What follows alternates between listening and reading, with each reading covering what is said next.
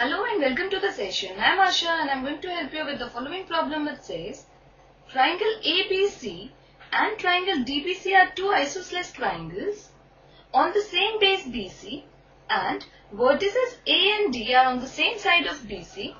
If AD is extended to intersect BC at P, show that first is triangle ABD is congruent to triangle ACD Second is triangle ABP is congruent to triangle ACP. Third is AP bisects angle A as well as angle D. And fourth is AP is the perpendicular bisector of BC. Let us now begin with the solution. First let us write down what we are given. So here we are given two isosceles triangles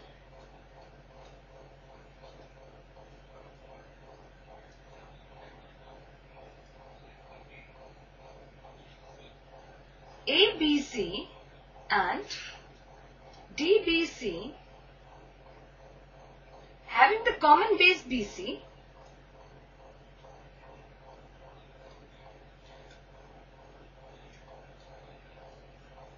such that side AB is equal to AC, this side is equal to this side and BD is equal to DC. This is equal to this side. And this is because we are given that triangle ABC and BDC are isosceles triangle and in an isosceles triangle two sides are equal. Now we have to prove first that triangle ABD is congruent to triangle? ADC, then we have to prove triangle ABP is congruent to triangle ACP. Third, we have to prove that AP bisects angle A and angle D and lastly, that AP is perpendicular bisector of BC. Now first we will try to show that triangle ABD is congruent to triangle ADC.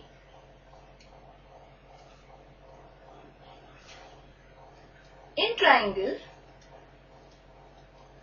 ABD and triangle ADC, side AB is equal to side AC. These two sides, this is given to us. Triangle ABC is isosceles. Next, side BD is equal to side DC. This is also given to us. Since triangle BDC is an isosceles triangle and AD is equal to AD since it is the common side. So this implies by side side side criteria triangle ABD is congruent to triangle ADC.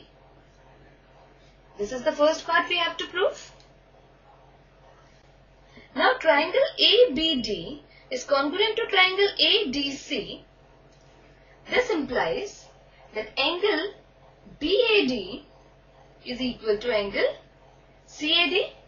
This is by CPCT. Which is the third part we have to prove. That is angle BAD is equal to angle CAD this is by CPCT. Now let us prove the second part.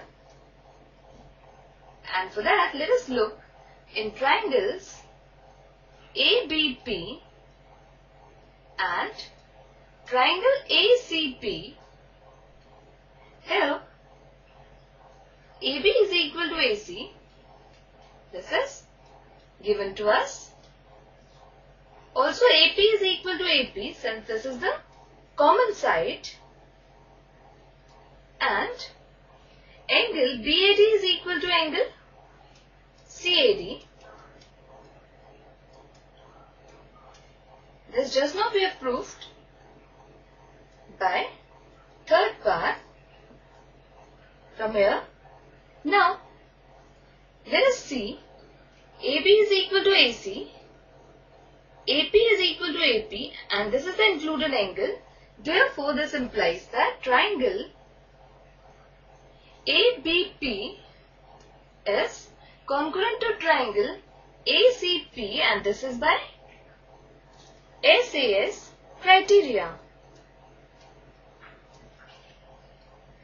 And this further implies that angle ABP is equal to angle APC. This is by CPCT. And ABP is this angle and APC is this angle. These two angles are equal. Also, BP is equal to CP. This is again by CPCT. So this is what we have to prove in the second part. And now let us show that AP is the perpendicular bisector of BC. Now, sum of angles APB and angle APC is equal to 180 degree. Since they form a linear pair, this implies 2 times angle APB is equal to 180 degree which further implies that angle APB is equal to 180 degree upon 2 which is further equal to 90 degree. So this implies angle APB is equal to 90 degree which is this angle. And also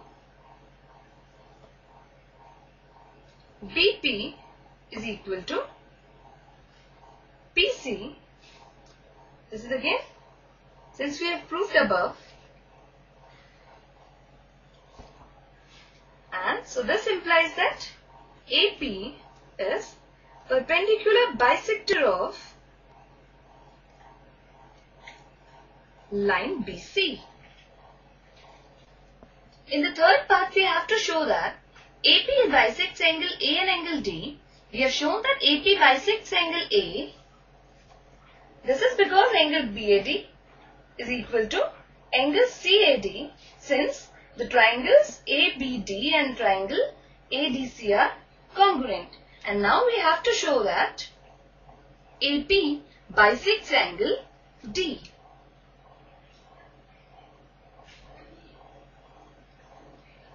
So what we will do is, we will try to show these two triangles congruent. So in triangle B, DP and triangle CDP, we find BP is equal to PC. We have proved it. Third part here. Also, angle DPB is equal to angle DPC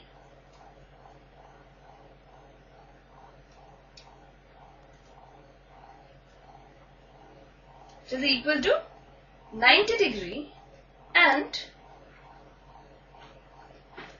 BD is equal to DC this is given to us. And these two we have proved above. And this implies that by RHS criteria, triangle BDP is congruent to triangle CDP which further implies that angle BDP is equal to angle CDP and this is by CPCT which further implies that AP bisects angle D. So, this completes the proof of all the four parts. Hope you enjoyed it. Take care and have a good day.